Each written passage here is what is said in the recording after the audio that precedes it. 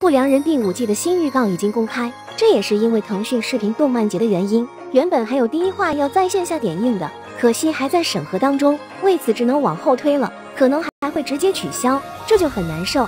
所幸官方发布了最新的预告，这才让粉丝们平静了下来。第五季的画质以及风格都发生了极大的变化，感觉变得更加真实了。建模也稍微优化了一下，为此大家就感觉换了一部动漫一样。但整体形象还是可以的。李星云也终于在新预告中露面，背后有龙泉宝剑，头上戴着蓑笠，看上去就特别的霸气。只可惜没有看到他的正脸，可能还在优化吧。此外就是新登场的小萝莉了。之前一直以为是四大师祖，但如今小编觉得可能是另有其人了，就和之前的连体婴一样，其实只是扰江的新角色。这么想的话，第五季和幻音房有关，那么这个小萝莉必定是九天圣姬，而且她手中还有姬如雪的宝剑，想必姬如雪将一些事情托付给了她。的确，目前还有三位下圣姬还没有出现，为此她的可能性就很大。当然，也不排除她是师祖银钩的可能，主要她背。着的小纸人就很诡异。第五季最高能的还是姬如雪，打斗非常的多。幻音房被灭后，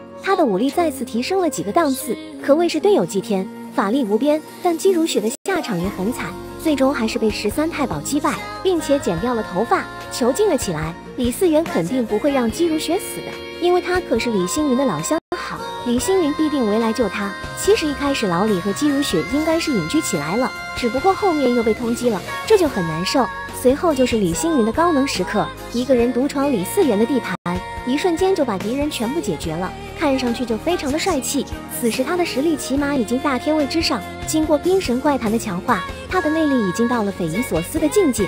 也是因为这样，他才敢如此不懈的闯进李嗣源这里。他的目的也很明显，就是救出姬如雪，并且解决掉李嗣源。其实姬如雪一开始应该是丢下了老李，这才被抓住的。